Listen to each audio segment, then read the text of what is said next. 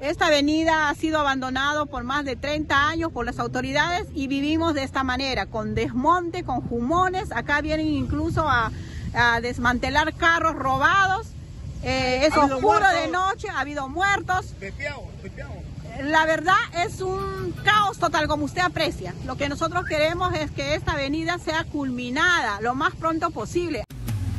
En Exitosa, Tribuna Vecinal estamos en el límite de San Martín de Porres y Los Olivos, en donde los vecinos llevan esperando más de 30 años la construcción de una de las vías más importantes en este límite. Hablamos de la vía nacional Canta Callao, la culminación, ya que son dos kilómetros que no han sido construidos. Hablamos desde la avenida 2 de octubre Panamericana Norte, es lo que ellos exigen, que se construya ya hace varios años.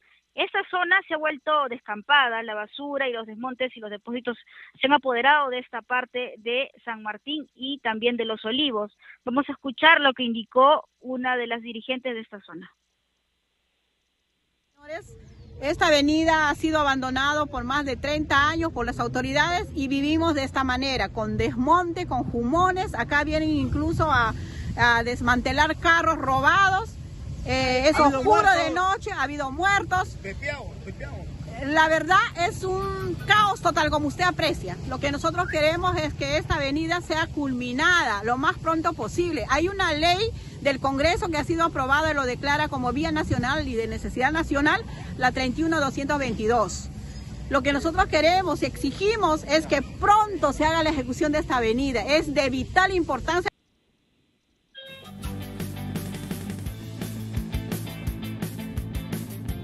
Muy bien, esa es la exigencia de los vecinos que están pues eh, diciendo que se cumpla la ley, nada más que se termine esa vía. Muy bien, entonces abrimos los teléfonos, ah, ¿tenemos tiempo para abrir los teléfonos? ¿Abrimos los teléfonos o no abrimos los teléfonos? Seguimos con Jacqueline. Jacqueline, adelante por favor. Bien, Karina, ahora como también ellos nos han comentado que como esta zona está totalmente abandonada, se ha vuelto un fumadero, incluso hay varios actos delictivos que se vienen registrando como robos al paso e incluso asesinatos. Vamos a escuchar lo que indicó otro vecino de la zona. De noche caen dentro de los camiones ahí permanecen este, los alcohólicos y microcomerciales de drogas inclusive este, se ha producido ya dos muertes. Ha habido dos muertes, sí. En esta vía también, si por acá avanzamos, no solamente desmonte, acá tenemos este depósito de ferretería, camiones, por ahí también hay... Bien, Karina, ahora también nos han indicado algunos eh, trailers, han tomado rutas alternas que podrían también pasar por esta vía si fuera construida. Vamos a escuchar lo que indicó un vecino también de ahí.